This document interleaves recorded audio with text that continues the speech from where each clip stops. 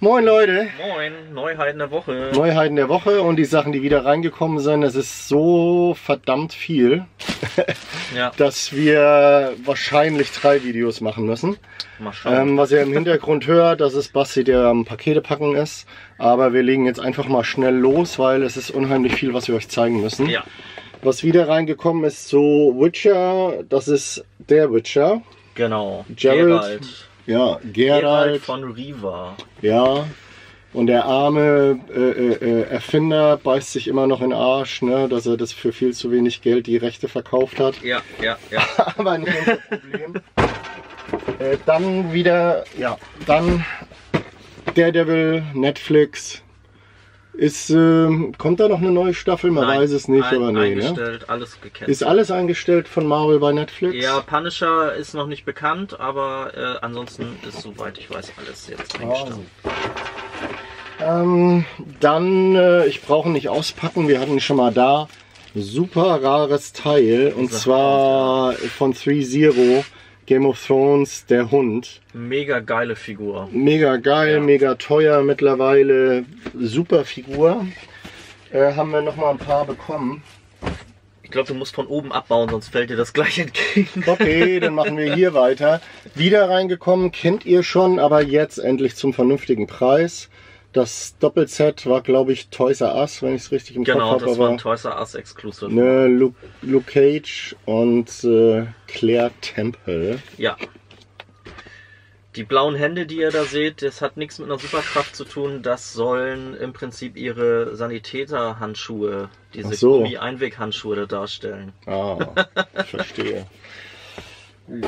Dann, was haben wir hier noch? Ach ja, Kotobukiya Art FX. Da hatten wir relativ günstig den Chris Redfield und jetzt haben wir noch mal lange ausverkauft den Leon. Leon Genau. S. Kennedy wieder reingekriegt. Gerade wieder Thema durch den unfassbaren Erfolg des Resident Evil 2 Remakes, Ja, wo, glaube ich, Leon das erste Mal auftaucht.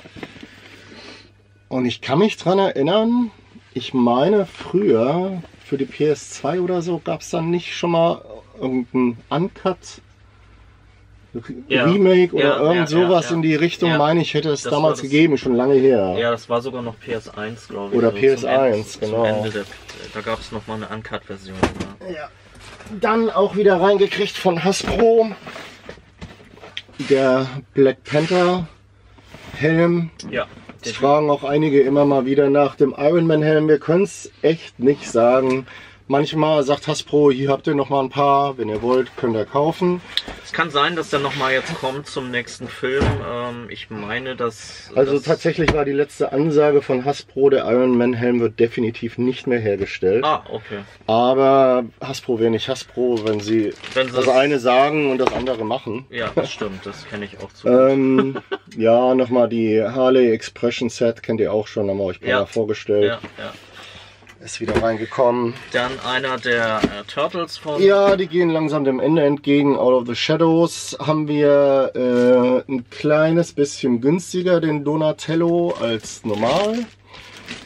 Frag mich jetzt nicht, was ein kleines bisschen günstiger ist. Ich weiß nicht, vielleicht für 200 oder so. Müsst ihr im Webshop gucken. Ich habe leider nicht alle, alle Preise im Kopf. Dann äh, 1 zu 6 äh, von Quantum Mechanics, den Dean Winchester. Haben wir auch im Angebot. Ähm, Ach, das ist zu. Äh, wie heißt denn die Serie noch, Mensch? Wer ist denn noch die Serie? ja, jetzt sagst du was. Verdammt nochmal. Das ist, das Supernatural. Supernatural, genau. Ähm, der ist, glaube ich, so 159 oder irgend sowas, inklusive Versand. ja. Dann die Domino haben wir euch vor kurzem rein äh, schon vorgestellt. ja, aus der waren- Ja. von, von Diamond Select Toys. Interessant zu wissen, äh, gestern hat äh, Diamond Select bekannt gegeben, dass sie Gentle Giant aufgekauft haben. Ähm, die haben ja schon bei ganz vielen Statuen und Actionfiguren das Sculpting für Diamond übernommen. Genau. Und äh, ihr könnt euch jetzt drauf freuen, dass da noch wesentlich, wesentlich mehr Statuen und Actionfiguren äh, rauskommen werden von, von Diamond Select. Definitiv. Ähm, zu DC sagen wir nachher was, wenn wir bei den DC-Statuen genau, sind. genau.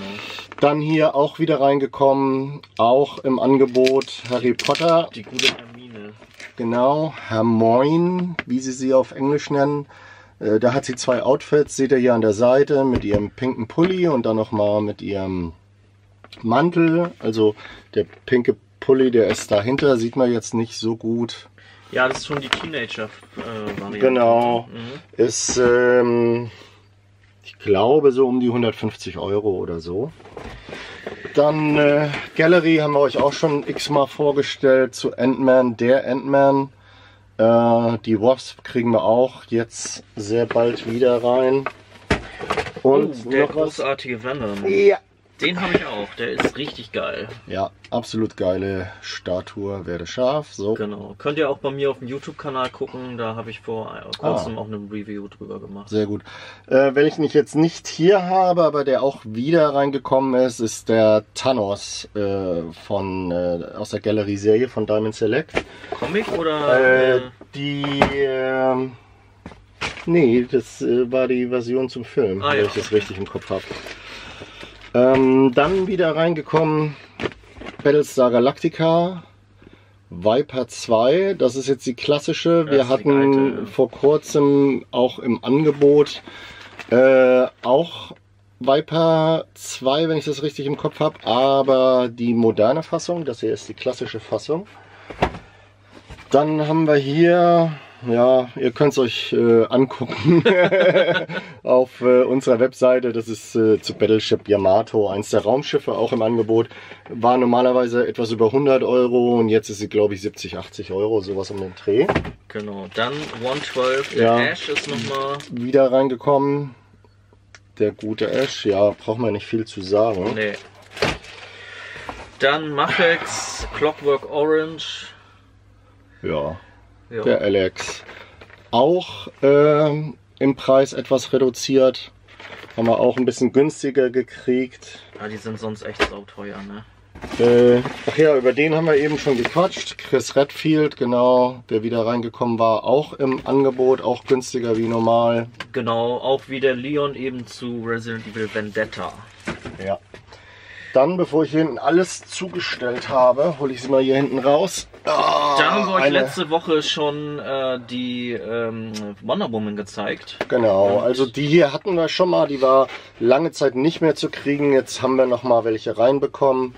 Äh, Das ist die Harley Quinn mit ihrem, ja, mit ihrem Raketenflieger hinten dran. Ja.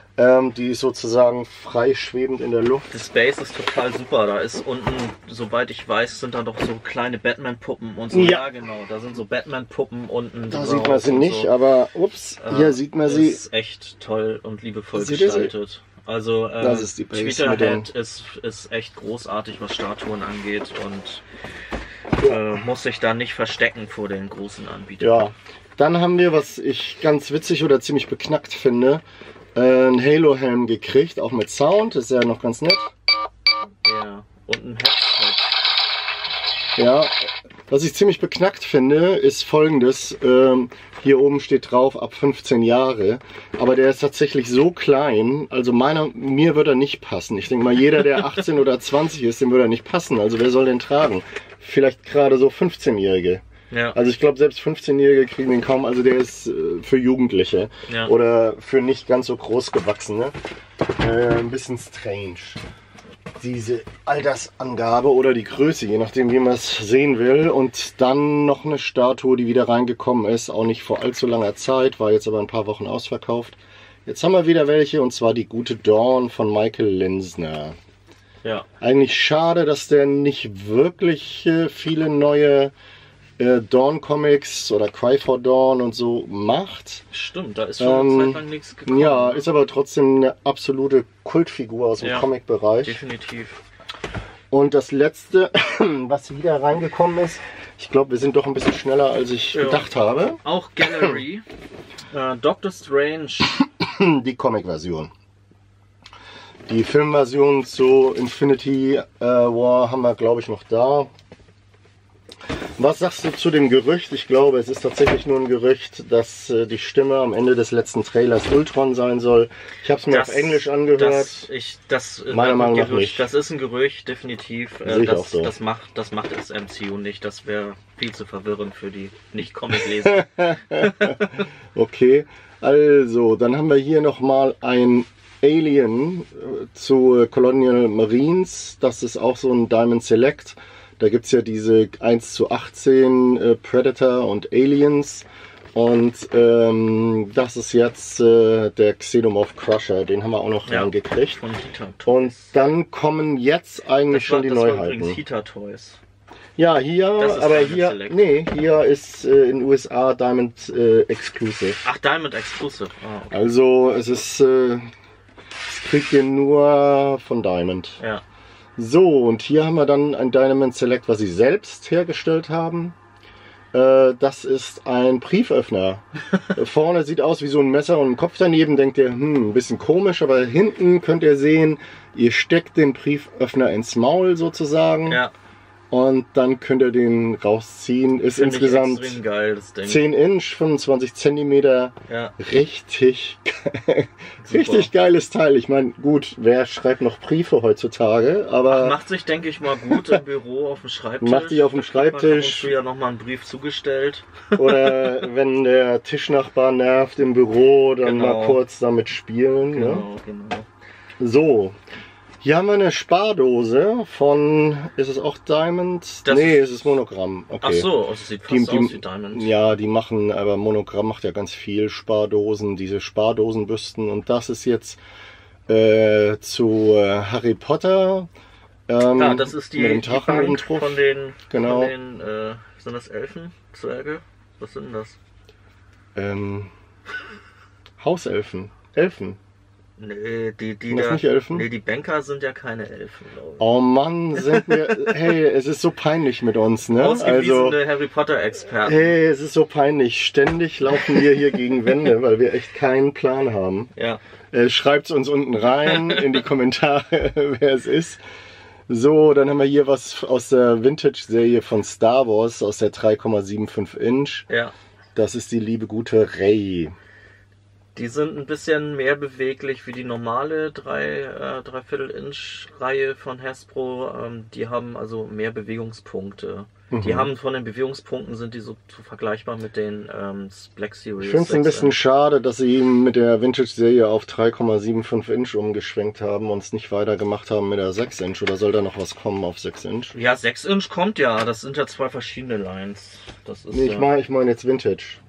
Ach so, das. Weil Äh, auf Vintage sind ja nur zwei, zwei Serien gekommen und dann war ja Schluss. ach so. Und danach kamen die ja alle in Du, bei 3,75 Hasbro, Inch. Hasbros Wege sind unergründlich. Es ist ja leider so. Damit So. kennen wir uns ein bisschen besser aus, obwohl es Funko Pops sind. Ja, Aber es ist Queen. es ist Queen. Und zwar Brian May, John Deacon, Roger Taylor. Und Genau. dann gibt es den Freddy in zwei verschiedenen Versionen. Jetzt fragt ihr euch, wieso ist hier kein Freddy bei? Ganz einfach, wir haben ganz viele Freddys bestellt und dann hat sich der Vertrieb gedacht, wenn die so viele Freddys bestellen, Dann schicken wir dann keinen. schicken wir keine. ich denke, nächste, spätestens übernächste Woche sind dann auch die Freddys da. Im Moment haben wir nur die. Ja. Dann, äh, Eine ja, ganz, ganz tolle Statue. Hammerstadion. Ja, die ist super. Ja. Wonder Woman zu ähm, Batman Metal, ne? Ist Ja, es. ja, Genau. so ist es. Und das Schöne, da kommen ja noch mehr Statuen aus der Metal-Comic-Reihe. Und das Geile ist, die haben alle diesen, diesen Diorama-Base dabei mit so diesen Tentakeln und was weiß ich nicht seht ihr alles. hier an der Seite. Also wirklich super. Und die sieht ganz toll aus. Ganz, ganz coole Statue, wirklich. Ja, Also wie gesagt. eine richtig äh, tolle Wonder Woman. ja. Auf jeden Fall. Super. Ich mag auch das mit der Rüstung und so. Ja, ich finde die auch super. Dann die, ich glaube jetzt. Ja, einer der beliebtesten Charaktere von Marvel. Auch endlich seinen Weg in die Gallery Line gefunden. Squirrel Girl. Was soll ich sagen? Mit zwei, drei befreundeten Eichhörnchen. Eins auf ihrer Schulter Ja. und zwei unten an der Base. Ja, was soll ich sagen? Also für alle Tierfreunde, jeder, ich meine, wer findet Eichhörnchen nicht niedlich? Ich finde aber die, Äh. ähm, die, die, die Statue an sich finde ich aber cool designt. Also Sie hat auch eine geile Pose. ja genau. Sie hat eine tolle Pose. Muss man sagen. Gut, Aus. So, dann haben wir Ja. mal wieder einen Ghost gekriegt. genau. Destiny 2. Sundance Ghost. Ich weiß jetzt nicht, warte mal, steht hier Little Lights Emblem in Game, Emblem Inside. Also doch, also auch die hier haben äh, Embleme fürs Spiel, die ihr aktivieren könnt. Also für jeden, der da noch das Little Lights Emblem im Spiel für sich reklamieren möchte, kaufen und da drin ist der Code. Und soweit ich gehört habe, funktioniert der auch. Ja, das ist gut. Ja. Ja, dann äh, ja, haben wir noch was von DC. Eine schöne Statue. Es gibt ja diese diversen Liebespaare, Superman und Wonder Woman, Batman und Catwoman. ja. Und hier haben wir Nightwing und Batgirl, ne? Genau. Und das Interessante an der Statue ist, die könnt ihr an die Wand machen und die ist nämlich, du musst es nämlich im Prinzip umdrehen, die hängen nämlich kopfüber.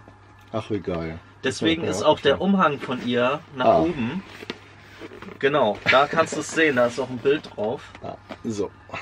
Und das finde ich mal eine ganz geile Idee. Ich versuche euch mal das Bild ein bisschen äh, dichter zu zeigen. Da an der Seite sieht man es. Ja, das ist echt mal eine witzige Idee, auf Ja. jeden Fall. Ja, die zwei Schätzchen. Haben wir noch einen? Ja, einen, genau. Den dicken hier. Einen meiner persönlichen Lieblinge, Tamashi Nations, Genau. der Shin Godzilla. Aus der SH Monster Art Reihe. Ja. Äh, Was ich ein bisschen schade finde, also es ist eine sehr schöne Verpackung, aber die waren ja sonst immer in einer Blisterbox. Jetzt ist es halt so Vollkarton. Ist ein bisschen schade. Aber guckt euch mal hier die Details an von seinem Schwanz.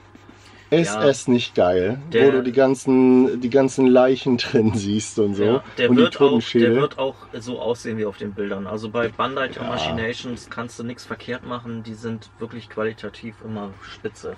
Ja, das ist diese äh, Frozen Version, ne? Aber der, der hinten, der Schwanz, der sieht hammermäßig aus, Super, total ja, geil. total super. Gut, dann äh, gibt's mehr Im in der zweiten Video. Runde. So sieht's aus. Bis nachher. Tschüss.